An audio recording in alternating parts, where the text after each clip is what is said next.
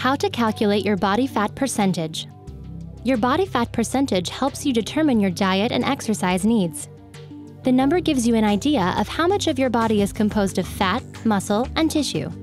You will need a caliper, the body density equation, the body fat percentage equation, and a fat percentage scale, optional, a trained expert, and an online calculator. Step 1. Know the body fat ranges to aim for if you're a woman. 10% body fat is the absolute minimum. Athletes tend to be in the 14 to 20% range. Fit people are at 21 to 24%. 25 to 31% is acceptable, and 32% and higher is too much. Step 2. Know the body fat ranges to shoot for if you're a man. For men, 2 to 4% is essential. Athletes are 6 to 13%. Fit men are 14 to 17% and 18 to 25% is considered acceptable.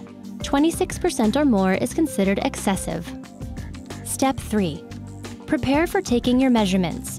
Don't drink too much water or exercise two hours before taking measurements as this can skew the body fat percentage scores.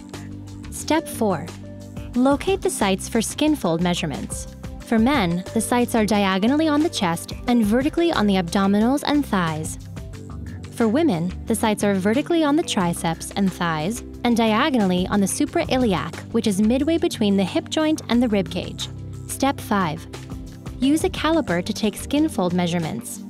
Pinch and pull a fold of skin using your index finger and thumb. Use the caliper to take a measurement 1 centimeter away. Wait a few seconds for the fat to compress. Take the measurements from your right side and take two from each site.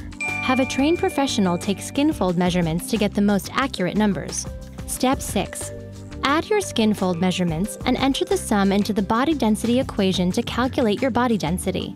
For women, the equation is 0.0000023 times the sum squared minus your age multiplied by 0.0001392 minus 0.0009929 multiplied by the sum plus 1.0994921. For men, the numbers are 0.0000016, 0.0002574, 0.0008267, and 1.1093800. Step 7. Determine your body fat percentage by dividing 495 by your body density and subtracting 450. To avoid number crunching, use an online calculator to determine your body density and fat percentage based on your skin fold measurements.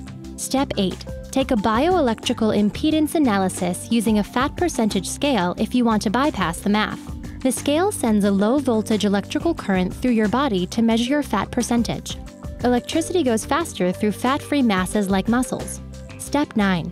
Understand that the error rate for these methods can be as high as 8%, but your body fat percentage range will give you a good idea of your body makeup and what goals you should aim for.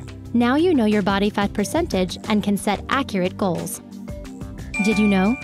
According to the Centers for Disease Control, Mississippi had the highest obesity rate in 2009 at 34.4%.